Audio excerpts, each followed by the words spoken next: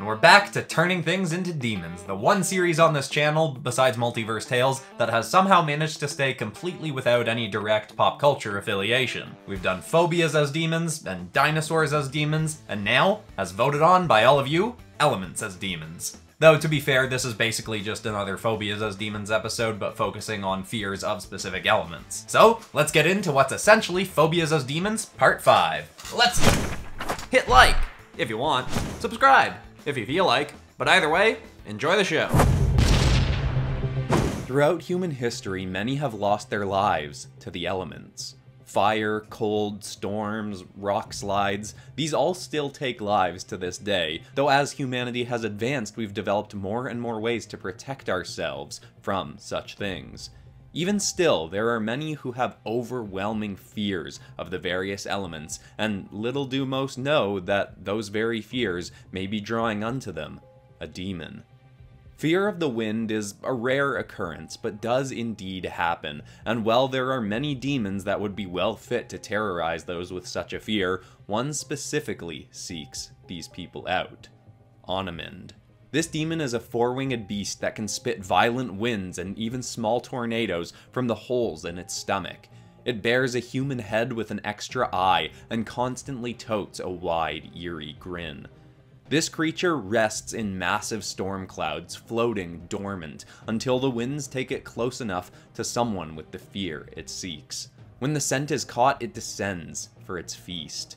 For days prior to its full introduction to its victim, Onamend will batter their home with strong winds, rattling their doors and windows through the night as they lose more and more sleep, becoming ever more susceptible to strong bouts of terror they'll likely start to suspect something strange is happening as they speak to others in their community and hear that no one else is experiencing such winds in their area. As growing confusion accompanies fear, Onamend will eventually reveal itself to its prey. It will send a small twister to their home just as they're stepping outside, and this guided wind will scoop up the terrified soul off the ground and carry them up and up into the air till they're left being whipped around in a dark cloud, being pelted by rain, their ears being rocked with the thunderous winds swirling all around them. Onamend will circle them, at first staying far enough away to not be fully seen through the haze, but drawing ever nearer each minute. All the while, its face will be directed towards them, bending and contorting in every which way, ecstatic from the horrified scent its prey is giving off. It will control the winds around them to batter its prey, sending them hurling and spiraling through the air, falling from the sky only to be scooped up again. After however many hours of this, the victim will likely eventually pass out, but their horror won't end there. Onamend will have its wind place them down in a vast open field, and when they awaken, will begin with only a light breeze around them. As they try to run and find their way to any kind of help, the cruel beast will soon have its strong winds kick up again, and soon, once more, the terrified prey will be up in the clouds, being rocked by ever more of the winds they so fear.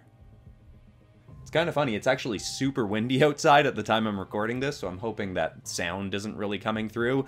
But anyway, for this design, I actually thought initially when I first finished this piece that it was the worst one from the episode, but the next day, in fact this morning, I ended up going back to it and adding a bunch of details. I did record it, so you'll see it at the end. And I think the added bits of just texture and little like weird patterns I put on it really helped flesh this one out and make it one of the best drawings of the episode. Though definitely not the best one. That's that's the next one. I really love the next one. But anyway, for the design, I was actually taking inspiration from something a few people have suggested over the course of this series, that I take a look at depictions of biblically accurate angels. I didn't totally know what people meant when they were suggesting that, but I did finally look into it, and they're a little bit freaky looking. They got like tons of different wings and just eyes all over the place and usually like a big eye and some weird rings floating around them. And I might use that if I do end up doing an Angels kind of counterpart series to this series. But taking a bit of inspiration with the multiple wings for this demon, I feel like that really worked out. Hope you all like it and let's take a look at the finished result.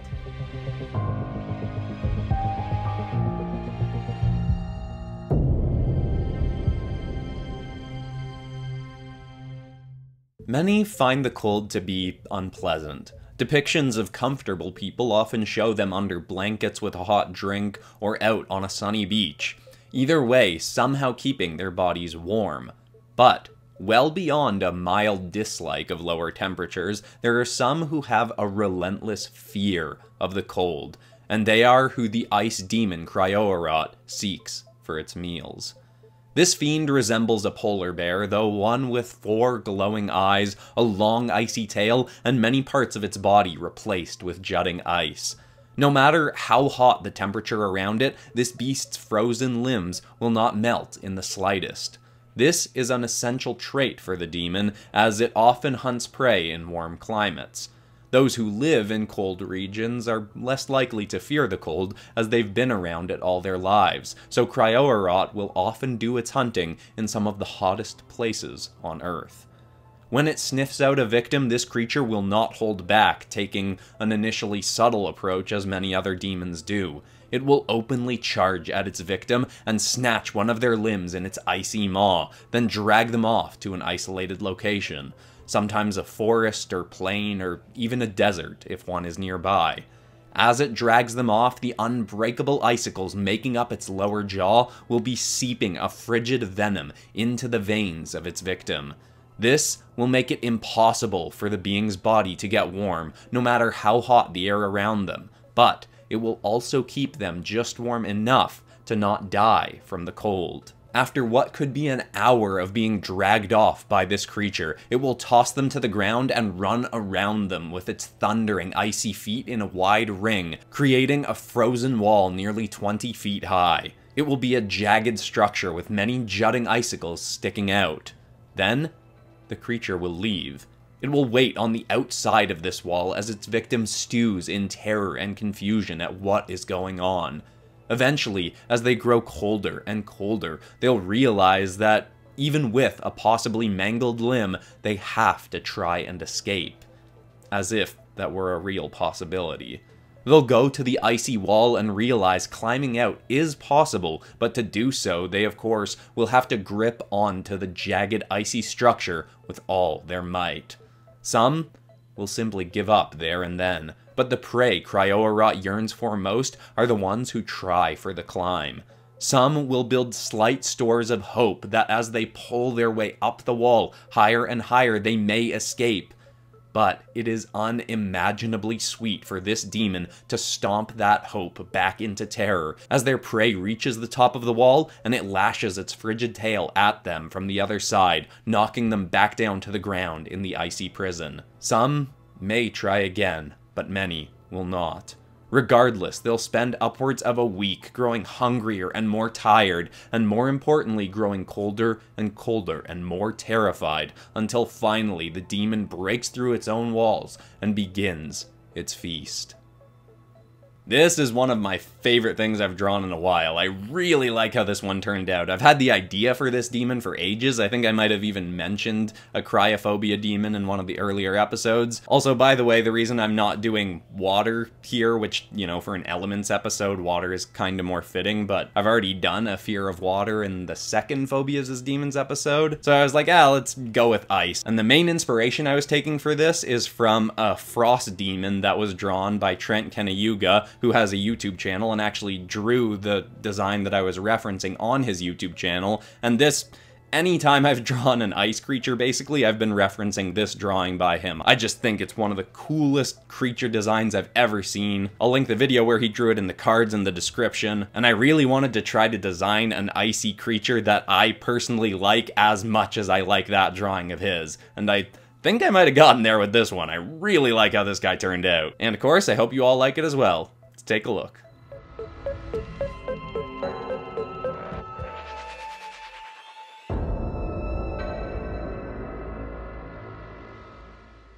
While demons are ruthless and horrific hunters, it is not impossible to escape them. In fact, the main tactic to do so, at a mention, sounds simple. You must overcome your fear of them. If you do this, they will lose interest and likely leave you be, but, of course, a solution being simple doesn't make it easy. Even still, I know of a tale in which someone who had a lifelong, unusual fear of rocks managed to overcome their fear even in the midst of an attack from the stone demon, Petreomp. This demon appears as a set of massive boulders covered in moss and vines and glowing green eyes that, when closed with it staying completely still, makes it appear like a natural part of its terrain. It's a massive and menacing demon, but proven not inescapable. As a boy, Aaron had been relentlessly bullied, and for some time those who tormented him would pelt him with rocks every day on his way home from school. Even after his family moved and his external circumstances became better, his pain from this experience manifested itself into a fear of rocks that plagued him into his adult life. He tried to always stay in cities, far from nature and away from anywhere he may come across many stones. But one day he was invited by coworkers to go out camping. He'd been hoping to become better friends with those he worked with, and after much research into the area they'd be going, he saw that it was a flat, very forested area, with no mountains nearby and likely no more rocks than the pebbles he'd see lining the sidewalk in the city. He agreed to go, and as he left the city, Petreomp caught his scent. A few days into the trip, everything was going well, though waves of anxiety had surged through Aaron at a few different points. One night, Aaron wandered away from his tent to go to the washroom, and while all the others were asleep, Petreomp saw its opportunity to strike. With astounding silence for a creature of its size, it marched its way between him and his campsite, sitting itself down like a barrier before he turned. When he finally did, he saw the stone structure and his heart started to pound. He hoped he was dreaming and tried to avert his gaze and simply walk around it, but before he could, it opened one glowing eye. The light emanating from it drew Aaron's confused and horrified gaze, and terror swelled in him as more and more of the eyes peeled open. Then, he just ran, back into the woods, unsure of where he was going, but simply wanting to be anywhere else. The creature stomped on after him, letting his terror grow until it deemed him ready for the next level of torment. It sped up and stomped a stone foot into his path, then blocked every direction he tried to move with its massive rocky limbs. It bumped and battered him with each of its stony legs, looming its body above him, revealing its underside to be a luminous green maw of jagged geodes. Eventually, it dropped its body down over him, so he was completely encased inside the creature, surrounded by spiky rocks. His breathing was fast and shallow, and tears welled in his eyes as the spikes around him, ever so slowly, started growing in towards him. He looked all around himself and realized this horrifying and baffling situation was likely now inescapable. And somehow that gave him a sense of calm. He didn't want to die, but if it seemed so certain that he would, in the very least he wanted to enjoy his final moments. He looked all around him at the glowing rocks and took in that while they were clearly about to be his end, they were also beautiful. These forms, these rocks, were part of the element he'd spent so much of his life fearing and avoiding, and yet there was so much wonder he could now see in them. With the spikes still drawing nearer and nearer, his breathing slowed as he focused on the beauty of this final sight, which didn't end up being so final. With his heart rate slowed and a baffling switch in perspective, Aaron became an unsuitable meal. The fear Petreomp craved had nearly vanished, and soon it simply lifted off him and wandered away. Of course, nobody in his life believed Aaron about what had happened, and he hadn't really expected them to. But he knew it had been real, and that if he could overcome his fear in a moment like that, he could do the same long term. He spent a year doing exposure therapy, keeping small collections of rocks and geodes in his home, trying to appreciate the beauty in them as he had on that night. Eventually, he became confident enough to go out on rock-laden hikes, and started doing this every weekend. He became more and more comfortable with the minerals that had once terrified him, and now, 10 years later, he is one of the world's most accomplished rock climbers. When he tells the tale of what happened to him to initiate the eradication of his fear, he now claims that it was a vivid dream he'd had. But Those of us who've worked for the Predator Coalition of Demon Hunters know that what actually occurred was a genuine, remarkable feat of bravery in the face of certain death.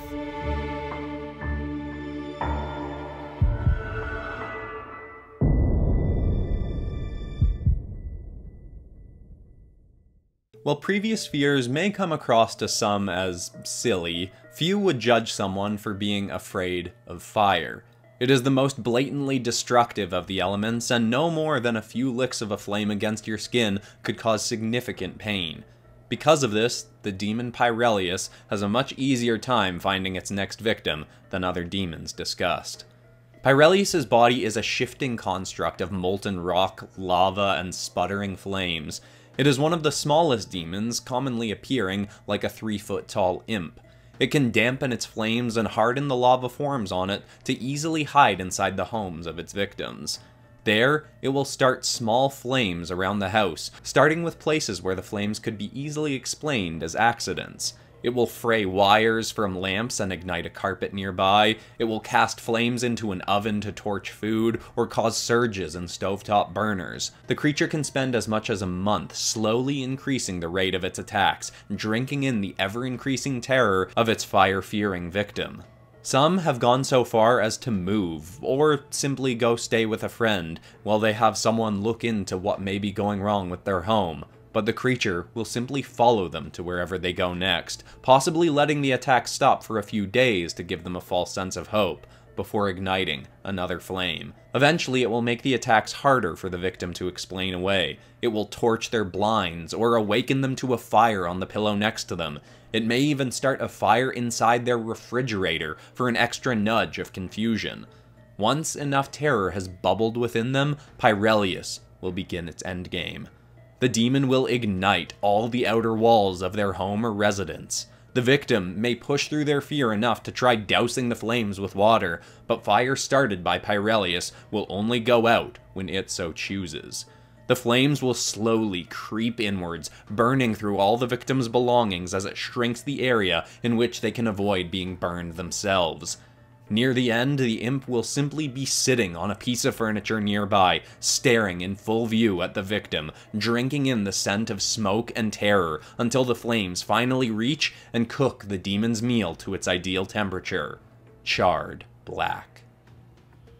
Now, I'm not sure why, but I knew that I wanted to do a kind of lean and small demon for this one. Maybe it's because I knew a bunch of the other demons in this would come across as being a bunch bigger, and for something to be scary, I don't think they really need to be big. I mean, if you think about the most terrifying comic book villain, it's probably the Joker. He's not really a big guy. For the design, I was actually kind of funny enough taking inspiration from the imps in Helluva Boss, the main characters in Helluva Boss, which I still have to do another Helluva Boss episode at some time in the near future, but it's hard to follow the first one I did because Helluva Boss Horror Story episode is one of my favorite episodes I've done on the channel. But anyway, so I was taking inspiration from those shaped kind of imps, and then also, you might be able to tell a bit from Ghost Rider, because really like the flaming skull kind of look. But to make it not too much of a ripoff of him, I made the head not like a full humanoid kind of skull, made it a little bit more creature-like, and tried to make it so that the eyes were kind of made from flames and smoke. Overall, I think that ended up making this thing look really cool. I really like the proportions. Not my favorite drawing of the episode, but, and actually, I think it actually has a bit of a Digimon kind of look. I don't know if there's a specific one I'm thinking of, but I don't know, maybe I'm just being weird, or let me know in the comments if you think this has a bit of a Digimon look to it. But anyway, I hope you all like it, and let's take a look at how it finished up.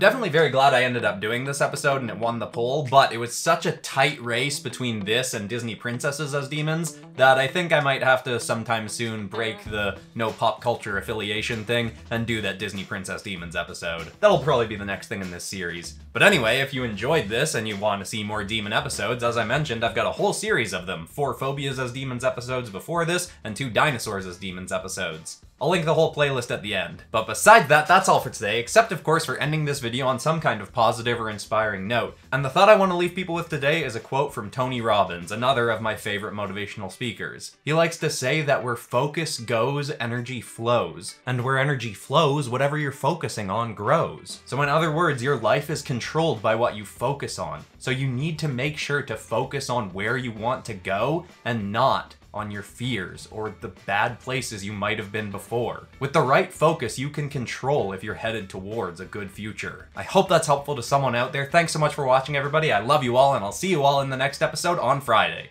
Goodbye.